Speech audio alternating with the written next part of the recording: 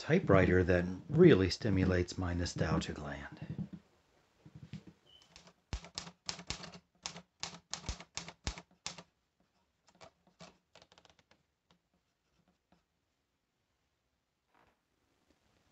Hello everyone.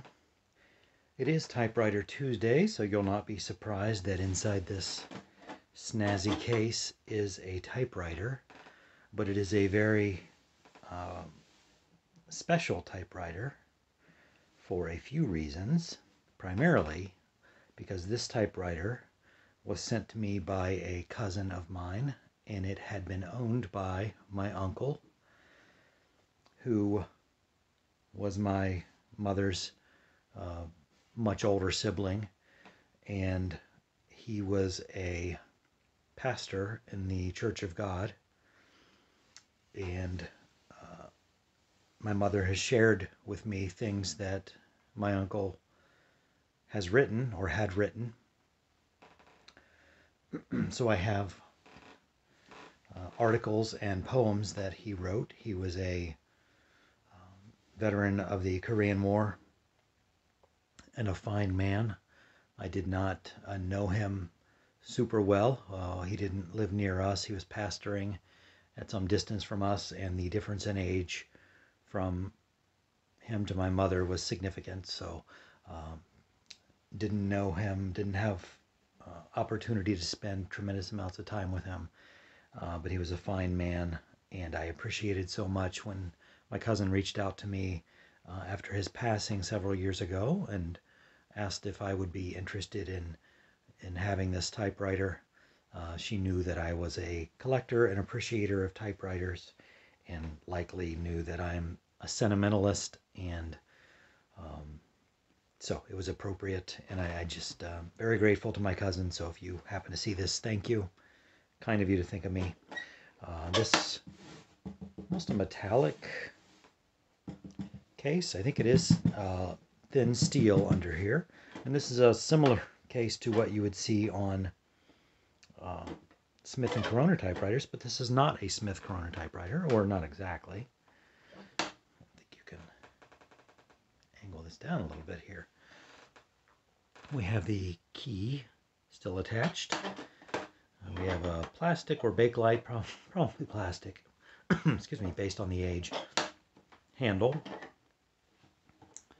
We have these latches here to open it. And here, if that will stay, we have the typewriter. It is a tower. Can't see. Tower President 12. And this case is uh, very reminiscent of the Smith Corona Galaxy series, Classic 12 and Galaxy typewriters, of which I own a couple. But their cases were very similar, just not with that metallic paint job. They were generally black, but they were very thin steel, as this is, and it locks into the case in a very similar way. Uh, you can see right away this has a wider carriage so that would have been an option.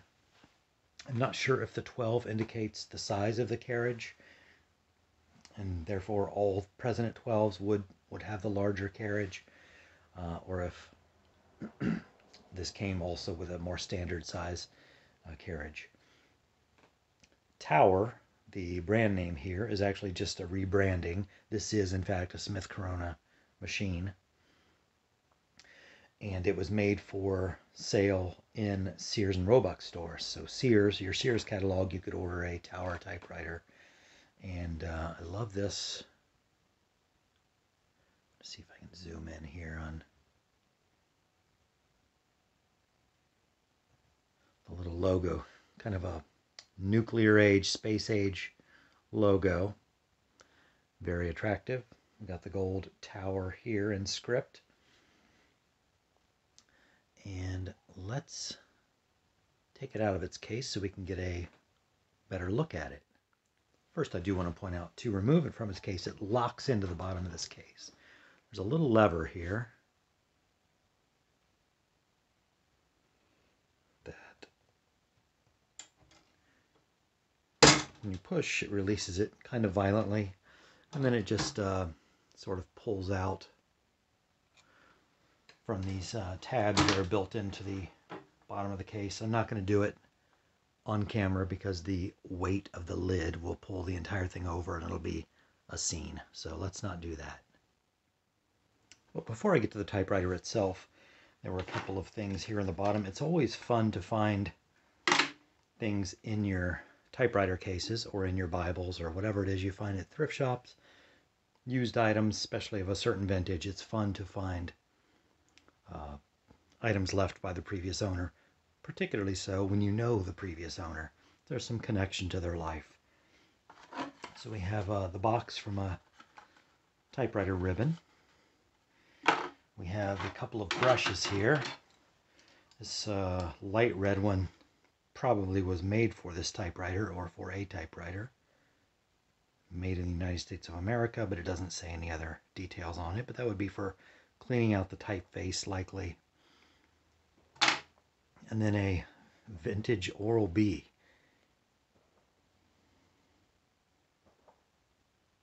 Toothbrush. Similar purpose I'm sure it was used for because it's blackened with ink, presumably. And this stuff is like gold when you find it in typewriters. Ko-Rec-Type. Uh, typewriter opaquing film, it's called. It's basically white out on a sheet, on a plastic film. And you back over the word you want to erase and retype the word. It whites it out in a very clean manner. Stuff is hard to find. Uh, when you find it in the thrift shop, you're ecstatic.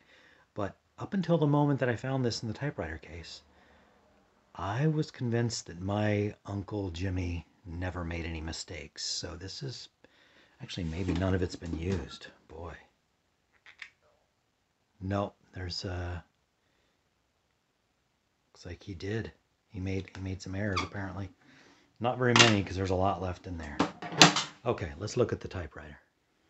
Okay, so here we have it. Uh, another look at it. Tower President 12. It is in this kind of taupe and refried bean color. I'm not sure what you would call it. It was probably a really fancy name from the factory. I don't know what that is. Again, built by Smith and Corona for Sears Roebuck. Uh, this was a pretty well appointed machine for its time. This uh, model was made sometime between probably 1958 1960. It has the the body style that's more like a 58, 59, 57 to 59 model, but the serial number and the name are more in line with a later 5960 model. So I'm going to guess uh, somewhere around 58, 59 probably data manufacture on this. I'm not sure how old that would have made my Uncle Jimmy, but uh, that would have made me in the negative numbers age-wise. Uh, so we have this fancy pop-up rabbit ear paper support that is familiar among Smith & Corona typewriters. And just by way of comparison, before I get too involved here, I have a similarly aged Smith & Corona typewriter. And you can see various similarities. It's hard to do with only two hands. There it's rabbit ears. The keyboard you can see is very similar in shape, although the color is different. But very, very similar machines. Uh, and very, very high quality machines really some of the best designed typewriters ever made. Um, if you're going to have one typewriter to last you through your life, uh, a Tower or a Smith Corona of that vintage is, I mean, that will that will suffice. really, they're super well designed, well appointed machines. There's a touch control here that um, affects how quickly you can type or how much force is required to type. The serial number, if you're curious, If you find one of these or if you came to this video because you're trying to find out more about your tower machine, you can see the serial number right in here. Probably can't see it, but it's on the uh, imprinted on the frame here.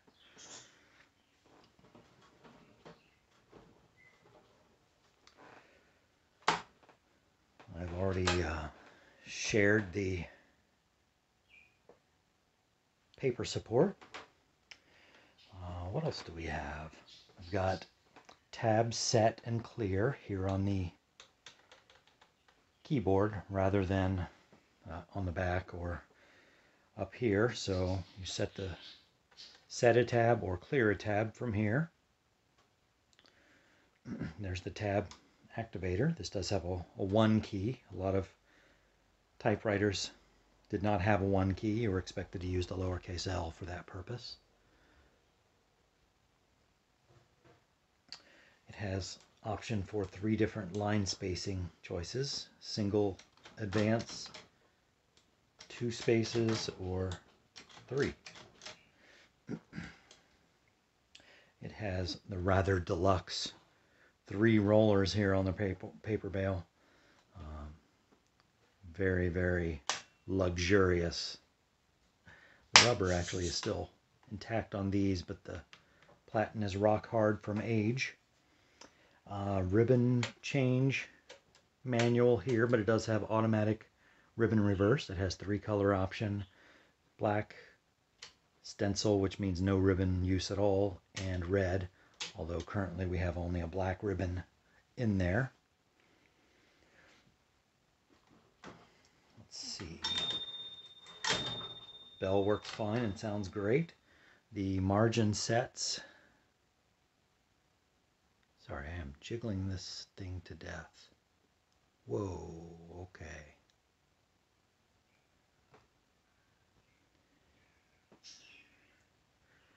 Margin sets.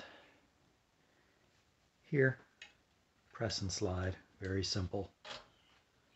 It's the best kind. These fancy magic margins and things of that character, um, not really useful, more gimmicky, I think. there is margin release here, so you can go to way past the margin on either end. Uh, there's a something here that is interesting.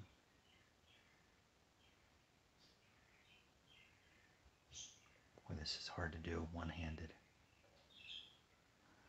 I don't know if you'll be able to see that. Model number 8711200 delivered to any Sears retail or mail order store for service. Sears Roebuck and Company, made in USA. So don't send it to Smith Corona. Don't try to take it apart yourself, although now you take this to your local Sears. Are there even Sears? I don't even know. They wouldn't know what to do with it. So take it apart yourself. Although if you need to repair it, I'd be surprised. A couple of really fancy features of this typewriter that set it apart other than the overall terrific build quality and um, very comfortable to type on. Something Smith Corona did that a few other typewriter manufacturers did that was an amazing bit of engineering that is not going to be easily shown here. But I'm going to try. The keys, when you depress them, do not move in an arc as you would expect. It's on a long arm, so most typewriters, you press the key and it'll swing down and in because that's the way the lever works. These are designed in such a way that it doesn't move down and in, it moves relatively straight down. It's hinged in such a way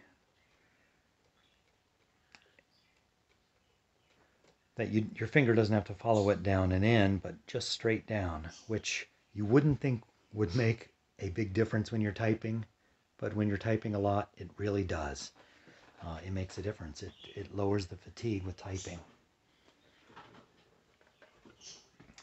Have these uh, fingers that hold the paper down as well as the paper bail. Usually you don't get both, but in this, uh, nothing was too good for the owner of a Tower typewriter. It had all the bells and whistles, everything you would want in a typewriter. Notice here we have a little bit of damage on the platen knob. I'm sure I can find a replacement because Smith Coronas and towers were so numerous. We have soundproofing here all throughout. Um, I left this intact as is when I got it from my cousin. So it's a little bit dirty from age, but uh, didn't really have to do anything with it. It's in terrific shape, will last another hundred years at least. Beautiful example of American manufacturing. I say that a lot on this channel, but man, they don't make them like they used to. This is just a well-designed machine, does exactly what it's supposed to do, and will keep doing that for years. Um, just gorgeous, and the personal connection to me is what really makes it, it puts it over the top. This will stay in my collection forever. Thanks to my cousin again. Thank you, Uncle Jimmy, for picking a great machine and taking good care of it and pouring your soul into it. Um, man, just just love this. Beautiful machine. Thanks for staying with me here on this Typewriter Tuesday. And uh, I don't know, maybe I'll try to make this more of a regular thing. I know it's been a while since I've looked at a typewriter, but uh, this was a special one. I wanted to make sure to get this one out there. Thanks for stopping by. Hope to see you here again next time.